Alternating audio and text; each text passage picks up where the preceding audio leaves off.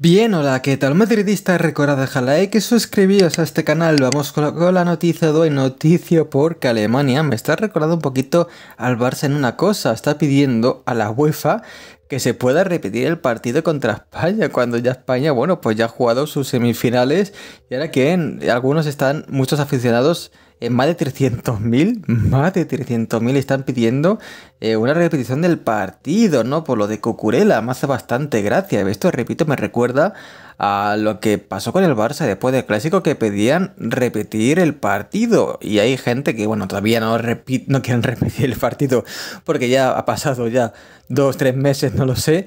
Eh, pero hay gente que todavía, como la puerta, que está enfadada con la federación, con la liga, todavía por ese clásico, por ese gol que no se sabe si entró o no entró, ¿no?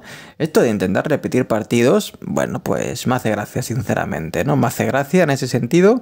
Aquí no va a pasar nada, obviamente no, no se va a repetir un partido cuando ya se ha jugado semifinales, pero no sé, me hace gracia en ese sentido, me recuerda un poquito al Barça.